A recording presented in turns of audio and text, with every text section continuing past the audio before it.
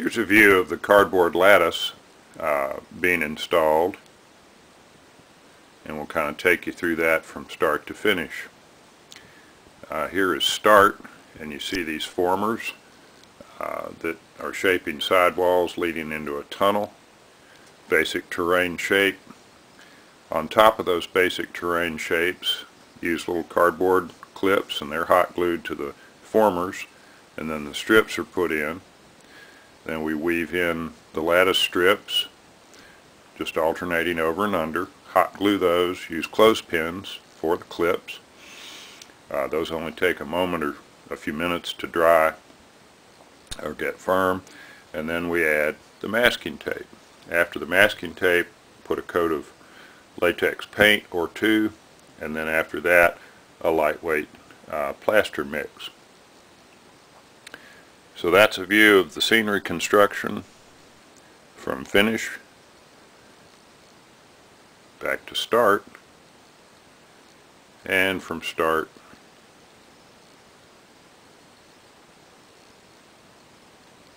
to finish.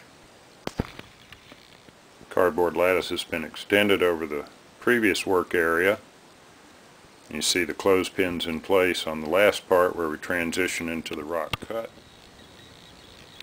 Here's another view of the completed area looking back to the southwest.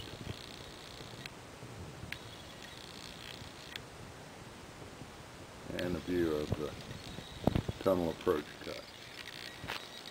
A little bit more on the application of the masking tape. Uh, call me anal retentive, but I've kind of decided that going on the diagonal and crossing uh, is a way to go.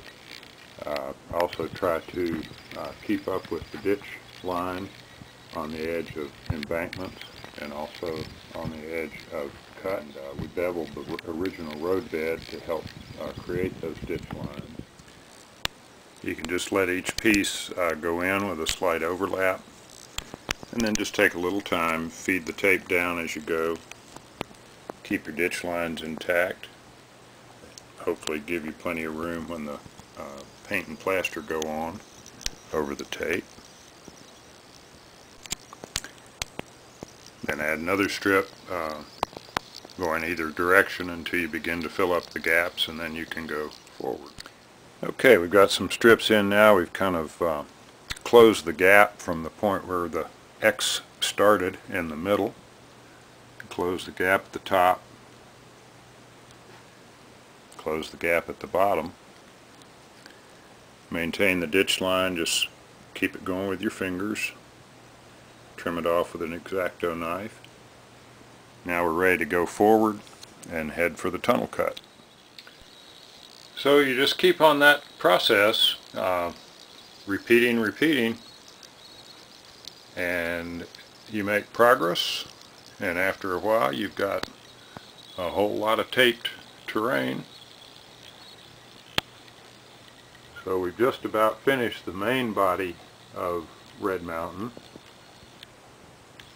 Obviously got a little work to do on the near side for the mine spur which is the higher track, and then the main line is the lower track. We now have a good bit of work done on both sides of Red Mountain, north face of Red Mountain with the mine locations on the other side of that aisle.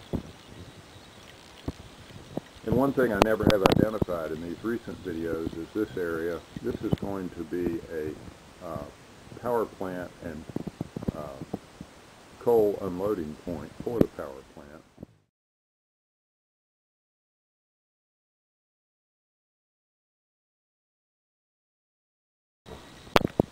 So that's the status of Red Mountain.